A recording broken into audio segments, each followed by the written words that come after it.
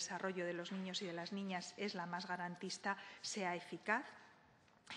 Eh, las situaciones en las que están los niños y niñas migrantes y, refugiados para, digamos, poder vivir con sus familias, poder volver a sus familias y ahí, digamos, que lo importante desde el punto de vista de UNICEF es que eh, predomine el derecho de los niños a ser protegidos frente al derecho de los niños a ser considerados como inmigrantes, como, refugiados. Saben ustedes que parte de las dificultades que tiene ahora mismo el tratamiento y la atención de los menores migrantes, especialmente en nuestro país de los menores no acompañados, es esa, pugna que hay entre las leyes de extranjería y las leyes de protección, pues la garantía de los derechos de los niños y de las niñas, tal como dicen las dos observaciones generales recientemente publicadas por el Comité, hace prevalecer o debería hacer prevalecer eh, el derecho de los niños a ser protegidos como, menores que son. Y por último, eh, los niños y niñas que viven en familias con pocos recursos.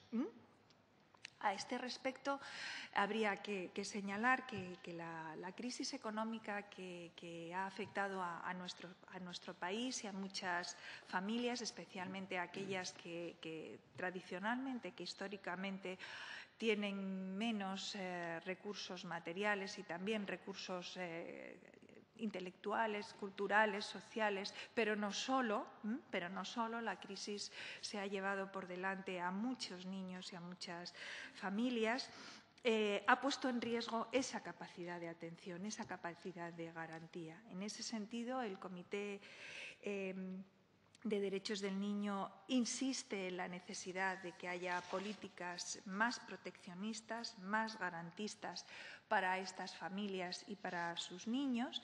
Y eh, UNICEF, como ya hemos hecho explícito en repetidas ocasiones, eh, recomienda mayor inversión en familias y, en, todo tipo de prestaciones dirigidas a familias y, a niños y sobre todo a aquellas familias, digamos, que tienen más dificultades. Y por mi parte, nada más, ponerme a su disposición para cualquier duda o consulta y agradecerles la invitación a los organizadores y su presencia y atención en esta, en esta sala. Muchísimas gracias.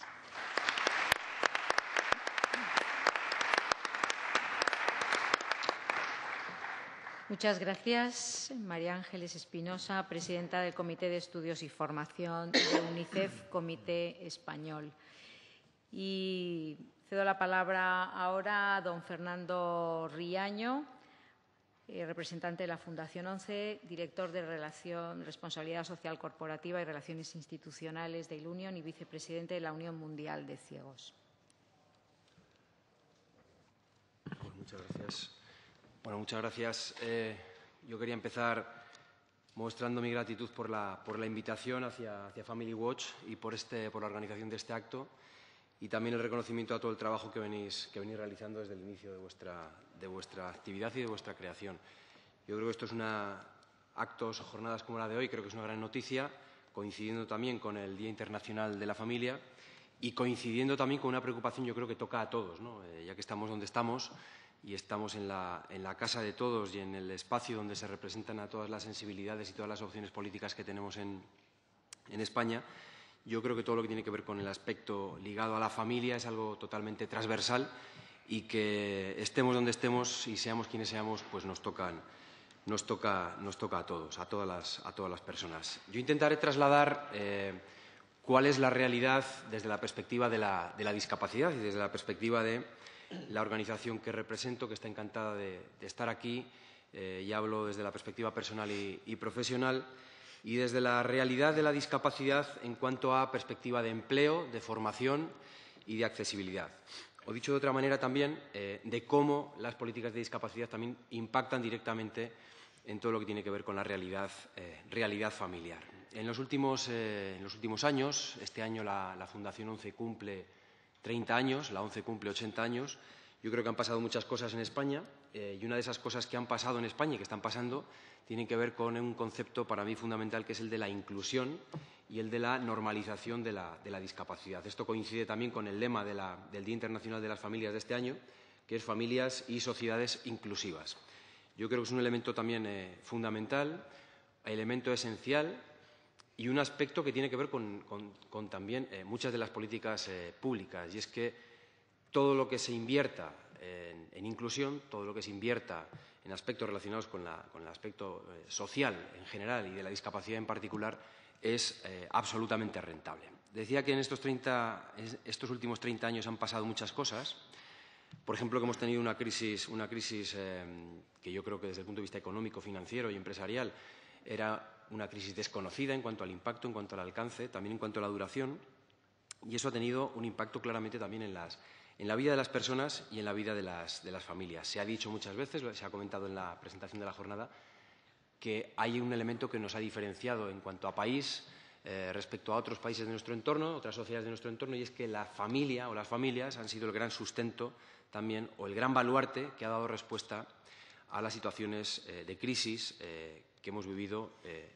no hace tanto tiempo o que estamos todavía saliendo de, esos últimos coletazos de la crisis, o especialmente de los años más virulentos de la, de crisis. Pues bien, en los años más complicados de la crisis y extendido en los últimos 20 años, la Fundación ONCE, que tiene tres objetivos fundamentales, fundacionales y desde el, desde el, momento de su creación en el año 88, y estos, son, estos objetivos son el empleo, la formación y la accesibilidad, pues bien, la Fundación ONCE en los últimos 20 años ha creado más de 100.000 nuevos empleos para personas con discapacidad. En el último ejercicio, también por traer cifras recientes del año 2017, han sido 8.400, más de 8.400 puestos de trabajo para personas con discapacidad creados, lo cual confirma que desde esa perspectiva eh, del impacto en las personas y del impacto en las familias, son políticas, insisto, rentables desde el punto de vista social y desde el punto de vista también eh, económico. Yo creo que también con las políticas de discapacidad ocurre una cosa, lo decía al principio, nos afectan e impactan a todos, independientemente del color político o independientemente de la ubicación en la sociedad o en el arco parlamentario, independientemente de la, organización, de la empresa donde estemos y donde tengamos eh, la suerte o el honor o el privilegio de estar trabajando en un momento dado. Esto, insisto, son cuestiones que afectan y nos tocan eh, a todos. Vuelvo al inicio también, eh, ya ese lema de familias y sociedades inclusivas, ese lema también de este, este año, eh, y me, voy a ceñir en un aspecto que ha sido también fundamental en todo el movimiento de las personas con discapacidad en España y en la diferenciación también de lo que hoy es la realidad de las personas con discapacidad en España respecto a otros entornos de nuestro, país. Entornos que a veces eh, creemos que nos sacan ventaja en muchas cosas, y así será seguro en algunos datos, pero que en otros, en otros, y estoy hablando de la perspectiva social y de la perspectiva de la discapacidad, eh, somos una sociedad avanzada y una sociedad que ha avanzado en los últimos años muchísimo y esos avances se han producido también desde el origen gracias a las familias. Las familias han sido las que históricamente, desde la perspectiva del movimiento de las personas con discapacidad, han tenido que ir dando soluciones, inventando soluciones, inventando realidades también que no estaban previstas y esas familias, padres y madres de, chicos y chicas con discapacidad, también fueron el, origen de muchas de las, eh, soluciones que hoy conocemos desde el punto de vista de las organizaciones sociales y desde el punto de vista de las organizaciones de la eh, discapacidad. El CERMI, por ejemplo, Comité Español de Representantes de Personas con Discapacidad, que representa a casi cuatro millones de personas con discapacidad en España y sus familias, y esto de sus familias es un dato importante, representa también o tiene la representación de más de 8.000 eh, asociaciones. Este, este, Día Internacional de las Personas, de, las personas de, perdón, de la Familia ha sido también eh, un día en el que el CERMI ha hecho hincapié en este último, en este último asunto. Eh, y ayer, sin ir más lejos, se planteaba la necesidad de reformar la ley de familias numerosas para mejorar la protección social a los hogares en los que residan una o varias personas con discapacidad debido a lo que se entiende perfectamente, que son los mayores costes y esfuerzos a los que tienen que hacer frente en su día a día las familias con personas con discapacidad eh, en, su, entorno, a su cargo, o que forman parte, o que la discapacidad forma parte de esa realidad o de ese día a día eh, de la familia también. Eh, en España, por traer algunos datos también, que yo creo que esto es importante, aterrizar a veces el PowerPoint al Excel, ¿no? el poner cifras y números también a la realidad eh, que a veces pues, eh, nos resulta más o menos lejana, más o menos desconocida, pero que es una realidad que tenemos en España, que son la de eh, más de tres millones y medio de hogares en España, tres millones y medio de hogares en España, que supone más de un 20% de los hogares en España, donde convive al menos una persona con discapacidad. Es decir, datos relevantes y datos que tienen un impacto social, un impacto económico y unos datos que nos tocan en el día a día, insisto, de todos. Y esto es un asunto de todos, un asunto, en el que a todos, tarde o temprano, nos toca de una manera directa eh, o indirecta. Y me gustaría también relacionar todo esto con eh, otros datos también. recientes estudios, que hay estudios recientes que además están bastante actualizados, habla del riesgo de discapacidad y pobreza, riesgo de discapacidad eh, asociado al, número de personas, con, personas sin hogar, una de cada cuatro personas sin hogar en España tiene una discapacidad, lo cual entra eh, en juego también otro concepto que es el de la eh, doble, triple o múltiple discriminación o situaciones donde el riesgo de exclusión, insisto, a veces es mayor. Decía al principio un dato Decía al principio un dato que tenía que ver con la eh, inversión en inclusión, inversión en el ámbito social, inversión en las políticas relacionadas con, eh, impacto en la, vida de las, familias.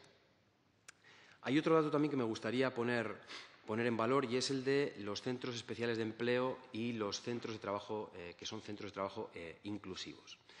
Hay también un estudio reciente eh, donde se habla, se analiza también, y además con unas bases de cálculo, yo diría bastante, bastante prudentes, eh, donde eh, se habla, insisto, de que generan 1,4, casi un euro y medio por cada euro recibido de la Administración.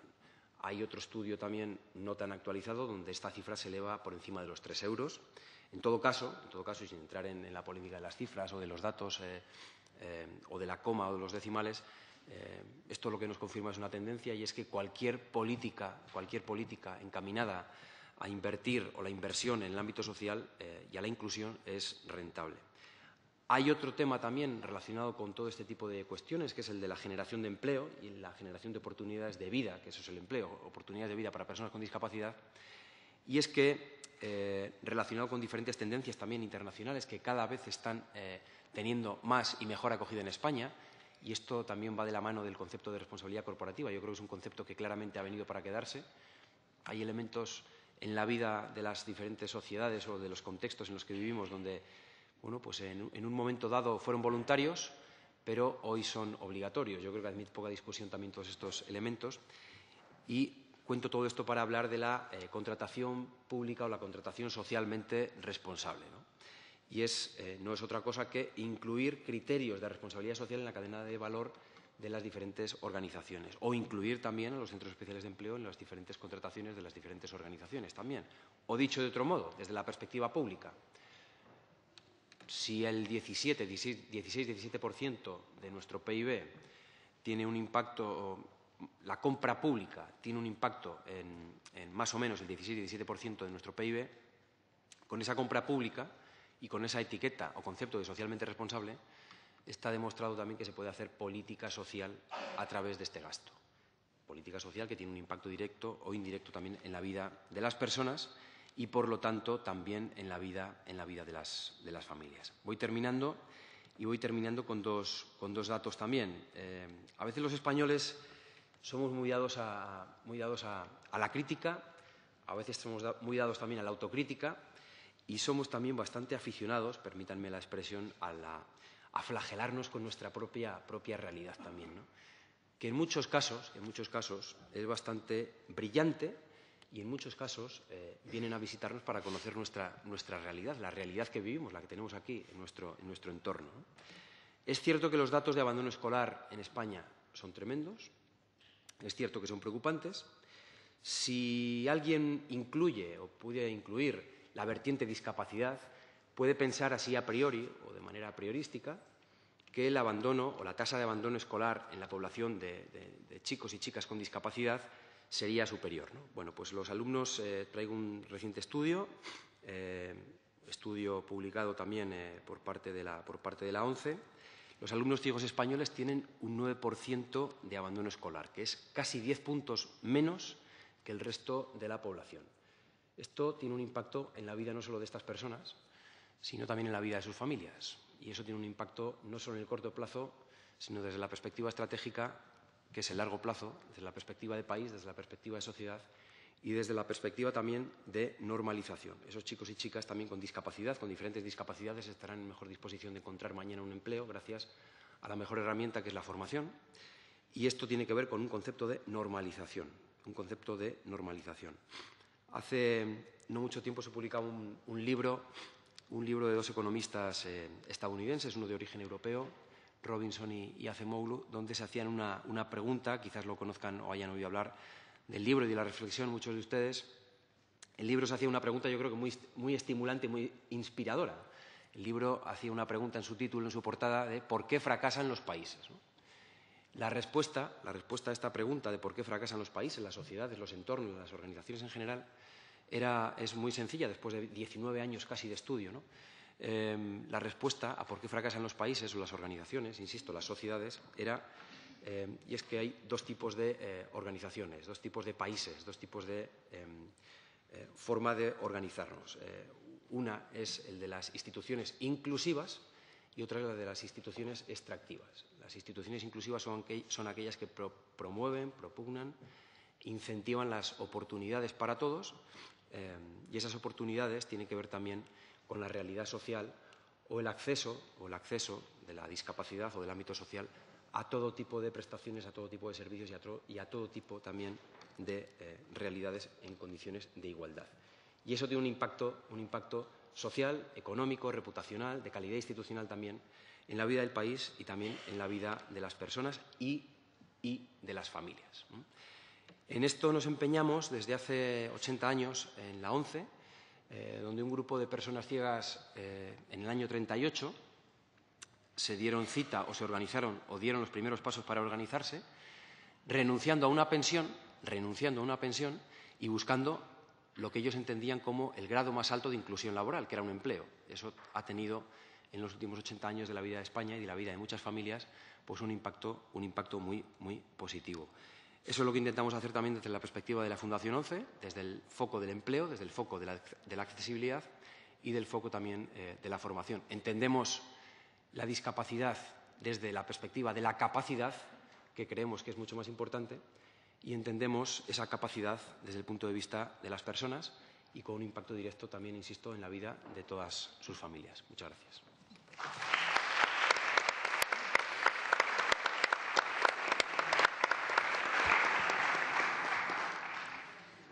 Muchas gracias a don Fernando Riaño, director de Responsabilidad Social Corporativa y Relaciones Institucionales de Ilunion en representación de la Fundación ONCE. Eh, a continuación cedo la palabra a don Juan Vicente Peral Ayala, vicepresidente de la Federación Española de Banco de Alimentos, FESVAL.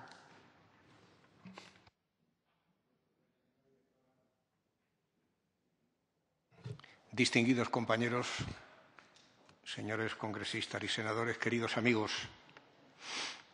han transcurrido ya más de diez años desde el estallido de la última crisis económica y todavía sus efectos y sus secuelas son evidentes entre nosotros. Es cierto que lo más duro de la misma quedó atrás, una vez vencido el año 2013, pero la incertidumbre y la inseguridad se instalaron con vocación de permanencia en nuestra sociedad para una larga temporada. Desde la Federación Española de Bancos de Alimentos, como todos ustedes saben, una entidad que agrupa a 55 bancos extendidos en red por toda la geografía española y dedicados a una, causa tan solidaria como distribuir alimentos gratuitamente a las familias más necesitadas de nuestra sociedad, con la colaboración inestimable de más de 8.000 entidades benéficas minoristas.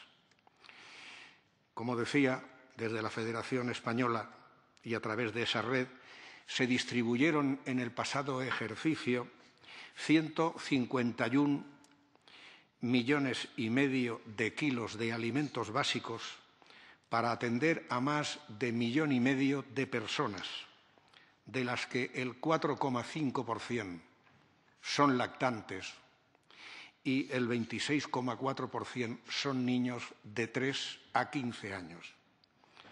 Un disparate de cifras, como ven, y todo ello con base fundamentalmente en el trabajo del voluntariado. A pesar de todos los esfuerzos del colectivo que agrupa FESVAL y, por supuesto, de destacadas administraciones y entidades, tanto públicas como privadas, que han colaborado sin descanso en el rescate de esta crisis, todo hubiera sido mucho más difícil sin la acción permanente y sostenida del elemento más solidario e inclusivo de nuestra sociedad, la familia. Esa unidad primaria de nuestra sociedad, la familia, que tiene como funciones indelegables la crianza, la educación, la formación para la vida de aquellos que nos han de suceder, precisa para ejercer tan nobles y vitales funciones un marco de seguridad y estabilidad en su equilibrio interno que solo pueden darle una sociedad libre y solidaria y un Estado eficaz en su gestión y socialmente responsable. Sin duda, con ese marco mejorable de convivencia y protección de la sociedad y del Estado, la familia ha sido capaz de todas, a pesar de todas las dificultades, de reducir el impacto no solo de los efectos económicos de la crisis, sino del todavía más terrible impacto emocional y mental ante las escasas perspectivas de una salida rápida a la misma. Ese trabajo psicológico que ejercen especialmente las madres con notable maestría ha permitido la fe inquebrantable en la restauración del equilibrio en la trayectoria vital y social de sus seres más queridos. Dentro del espacio familiar merece destacarse el papel estelar desarrollado por los mayores, mediáticamente conocidos como pensionistas. En ese papel de mantenimiento de la serenidad, el ánimo y la esperanza, cuando las fuerzas y el espíritu de los que luchaban en primera línea se quebraban ante el cúmulo de dificultades y contratiempos que se agolpaban sin tregua sobre ellos. Seamos capaces, visto el comportamiento heroico e inclusivo de la familia en esta crisis, de rendirle el homenaje que merece y de prestarle todo nuestro apoyo como protagonistas conscientes de esta sociedad en la que vivimos, haciendo llegar al Gobierno y a las instituciones del Estado, a través de nuestros representantes políticos en esta Cámara, que la protección de la familia debe constituir una prioridad social estratégica. Muchas gracias por su atención.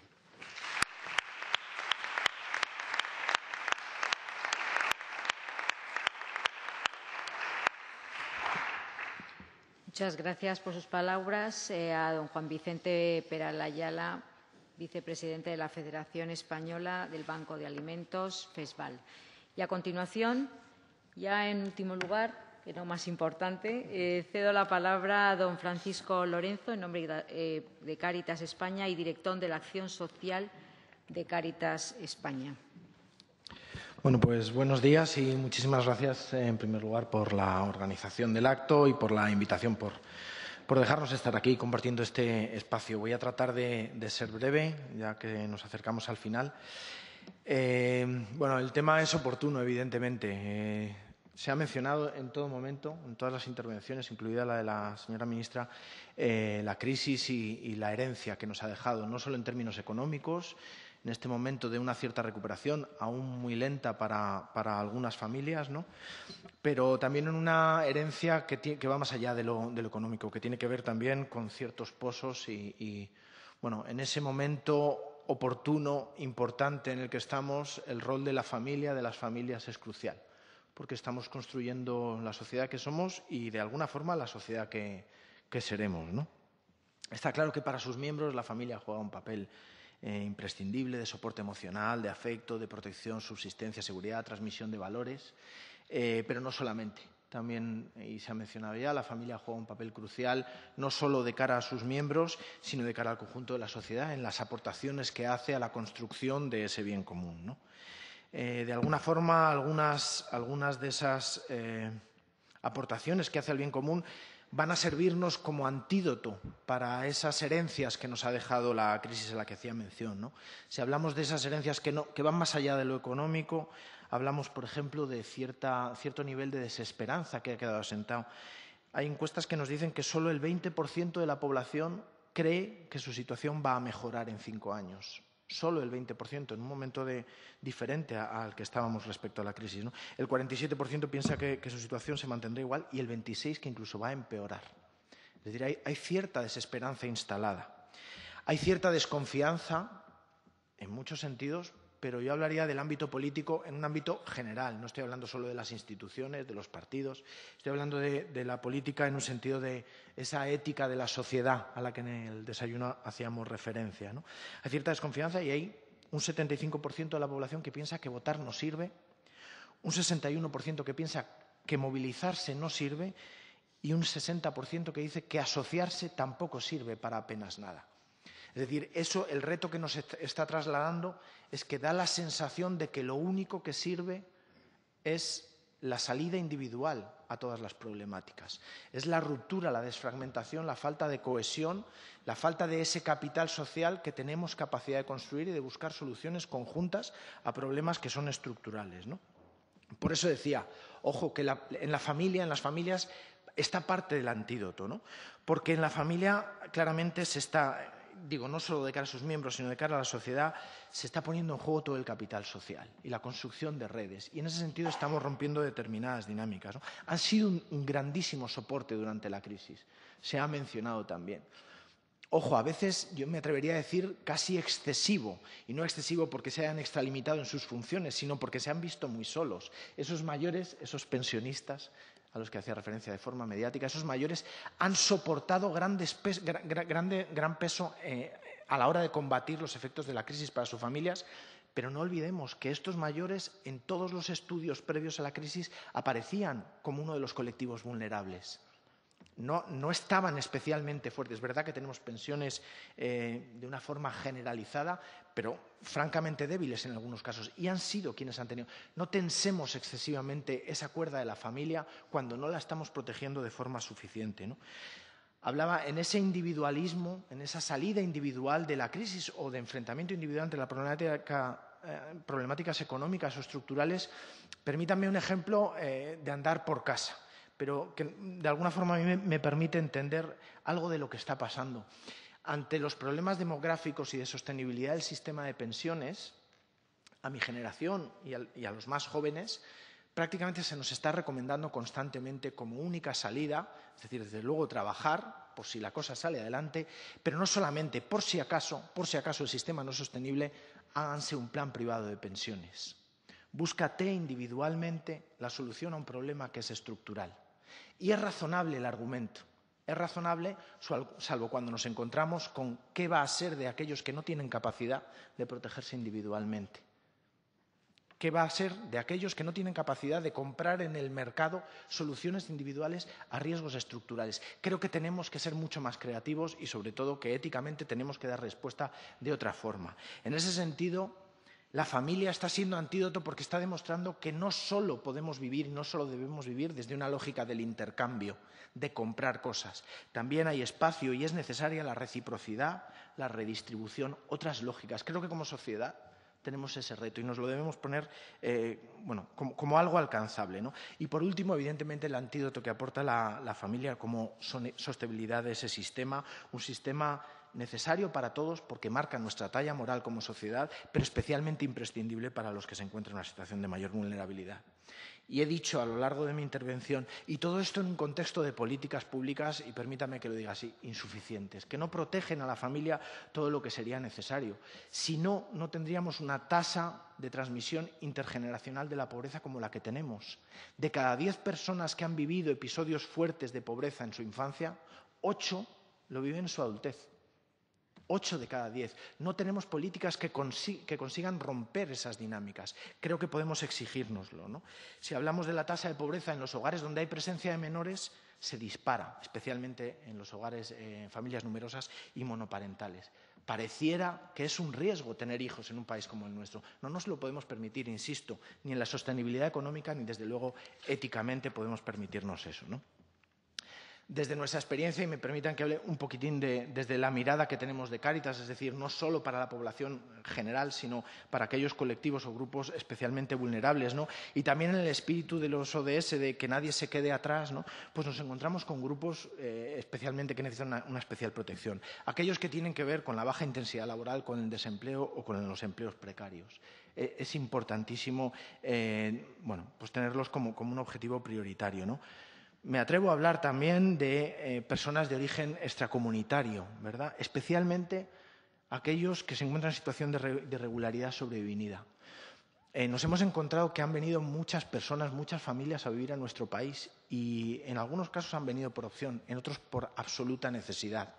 Han venido, han trabajado, se han comprometido con lo que les pedíamos, se han convertido en vecinos, no únicamente en trabajadores, y las circunstancias de la crisis nos han llevado a que les digamos que ahora no pintan nada aquí. Insisto, creativamente, pero sobre todo éticamente, estoy seguro de que tenemos capacidad de plantear otras alternativas. Hogares con menores de 18 años, ya lo he dicho, ¿no? con, presencia de menores. Y luego aquellos que ni siquiera pueden tener hogares, eh, pueden tener menores en su familia, los denominados sinkis, que no por elección, sino por opción, eh, parejas con un solo sueldo y que a día de hoy no se pueden permitir tener hijos. ¿no? Y, es un deseo, claro. Creo que nos están planteando retos que son importantes. Las salidas, me van a permitir que diga que creo que las conocemos. En el espíritu de lo que señalaba la, señora ministra, ¿no? cuando hablaba de que la familia aporta valores, aporta solidaridad, aporta pacto intergeneracional, bueno, pues creo que eso mismo deben aportar las políticas públicas. En primer lugar, para generar el escenario donde las familias puedan desarrollar eso de una forma natural y de una forma lógica y no con ciertas angustias. Y en segundo lugar, para proteger a aquellos que se están quedando fuera, que sus familias no les pueden proteger o incluso que no tienen familias. Hablamos de protección económica cuando hablamos de garantía de ingresos para aquellos hogares que no tienen ingresos o que están bajo el umbral de pobreza, prestación por hijo para, para los hogares con menores. Yo diría que con vocación universal. Creo que no es un gasto Creo que cuando, gastas en infancia estás invirtiendo si lo haces bien, ¿no? priorizando siempre a los hogares más vulnerables. Creo que derechos fundamentales como la vivienda, ninguno de nosotros sabríamos vivir dignamente sin un espacio de protección como es la vivienda. Y a día de hoy, para la mayoría, para la inmensa mayoría, es un bien de mercado, donde o puedes o no puedes, pero es algo fundamental, insisto, tenemos capacidad de pensar alternativas distintas, estoy seguro. ¿no? La educación como algo fundamental, como una política general con cuidado, con especial atención a los más vulnerables. E, el producto educativo que recibe la infancia no puede depender de la capacidad que tiene una familia de costeárselo. No puede depender. Y ahí, bueno, tenemos que seguir protegiendo la, educación pública y garantizar el acceso en condiciones adecuadas para todos los, los menores. ¿no? Otro tipo de apoyos, de acompañamiento social, entendido no como penalización, sino como un acompañamiento, como una activación para de verdad ganar en determinados niveles de autonomía, que estoy seguro de que es lo que queremos todos y cada uno en, nuestra vida. También las personas vulnerables, obviamente, pero necesitan recursos, necesitan ese acompañamiento. Servicios de orientación, políticas que permitan la conciliación. entendemos que es algo fundamental y luego bueno, pues quizá algo básico, ¿no? Y es la coordinación entre todas estas políticas. para la persona que sufre determinadas problemáticas no son mundos aislados. Probablemente para nuestra organización